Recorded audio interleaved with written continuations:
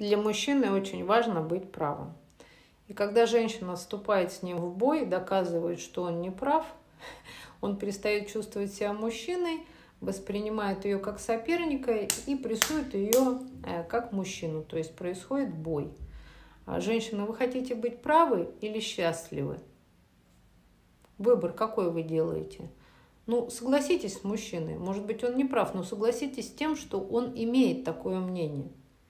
И потом впоследствии аккуратненько рассказать. Я вот тут подумала, там ты-ты-ты-ты, какой-то видеоролик, еще то есть как-то как подсеять ему сомнения, чтобы он сам пришел к выводу, что эта идея была бесполезна. То есть из-за угла, из-за печки станцевать, а в глаза согласиться. Согласитесь с тем, что он имеет э, свое мнение, и оно может иметь место быть. Вы правы хотите быть или счастливы? Задайте себе вопрос.